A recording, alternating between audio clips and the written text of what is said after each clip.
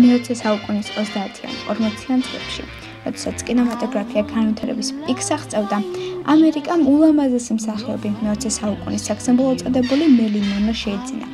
მასე ყველა საუბრობდა, მამაკაცები მასთან სიახლოვეს ცდილობენ, ქალები კიდე რაიმე დამსგავსებას.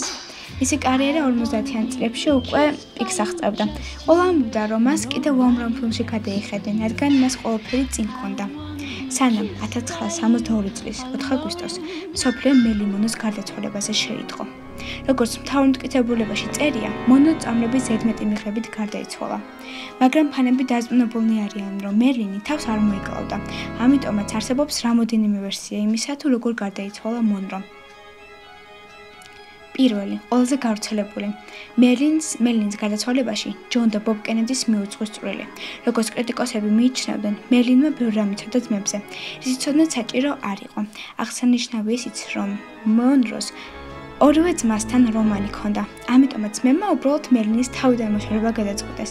მერლინი, როგორც კრიტიკოსები ამბობდნენ, ყოველფერს ძალიან აბუქებდა და მათთან საზეყვარულო მიდგომას სულ სხვანაირად უყურებდა. ძმებისთვის კიდე მონო უბრალოდ ჩოვლებრივი ხალი იყო და მისი თავით ამოცილება ასე გადაწყვეტეს.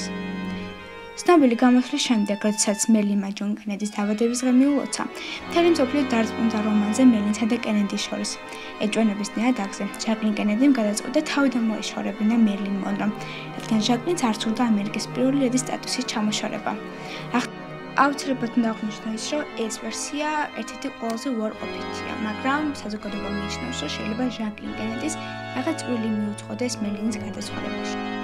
გენეტიკა. საიდუმლო არ არის, რომ მელინის დედა და ბებია შიზოფრენიით გარდაიცვალნენ. ამიტომაც მონროს მთელი ცხოვრების განმავლობაში ჰქონდა შიში, რომ იგი ასევე თავისი დედა და ბებიის მსგავსად შიზოფრენიით ან სხვა ფსიქიკური აშლილობით გარდაიცვალებოდა. აპარატემა რამოდენიმე ჯერმელინი ფსიქიკურ საუნდტრეკშიც შემჩნეს. რას ფიქრობთ თქვენ? დაწერთ თქვენი აზრი კომენტარებში.